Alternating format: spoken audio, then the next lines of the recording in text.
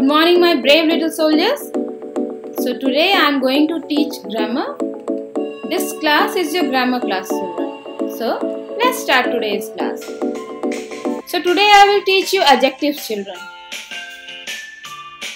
In adjectives, the D is silent. When you are reading adjectives, you will not read it adjectives.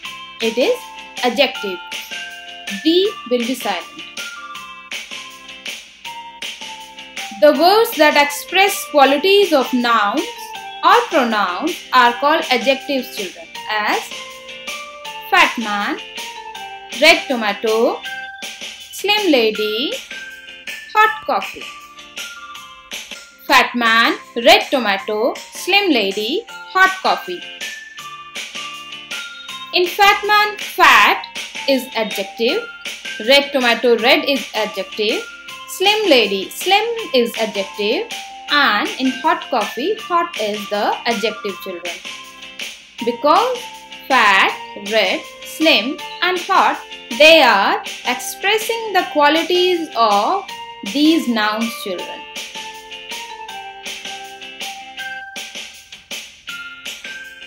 Sometimes the noun qualified by the adjective may come before the adjective.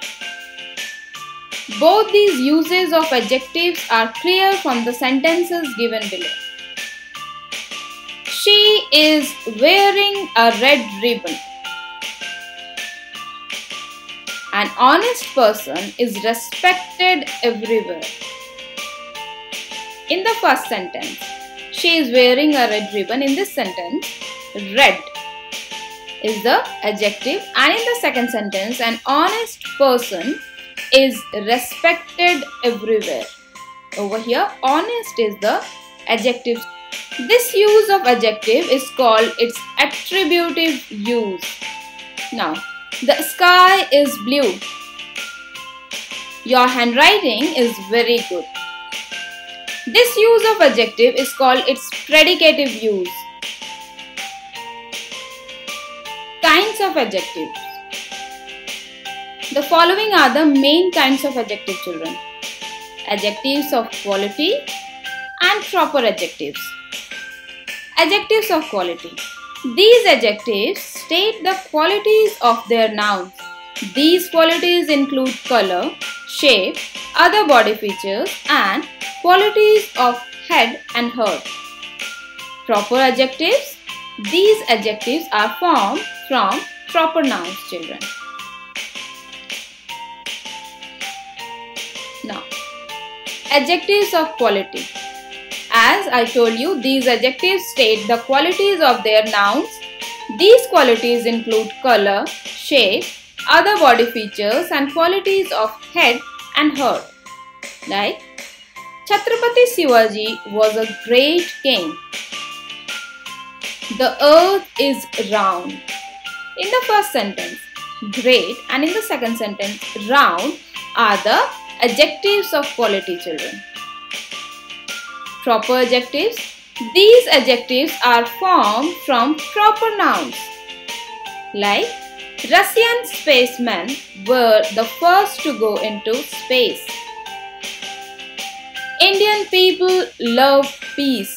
So in the first sentence, Russian came from the proper noun Russia and in the second sentence, Indian came from the proper Noun India. So these two are proper adjectives children. Now things which we should remember and which we studied today. The word adjective has its D silent. So it is pronounced adjective. Previously all the number words were called numeral adjectives but now they are called numeral determiners.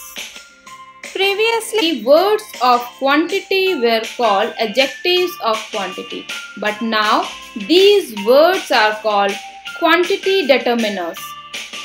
The words my, your, his, her, its, are, their were called possessive adjectives, but now they are called possessive determiners.